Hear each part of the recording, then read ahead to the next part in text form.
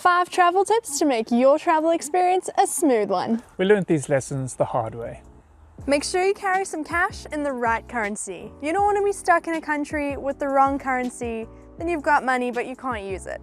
So if you're ever stuck without cell phone reception, find your nearest McDonald's or Burger King. Nine times out of 10, they'll have an open free service for you to use.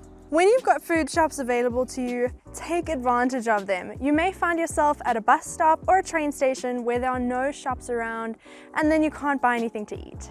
When trying to sleep in a public space, find yourself a good playlist and coupled with these, you're good to go. We'll link one in the description below. Try to carry a little bottle of moisturizer for those longer journeys when you don't get a chance to shower. It gives you the illusion that you're a little bit fresher than you really are. Subscribe for more travel tips. And follow our travel adventures around the world.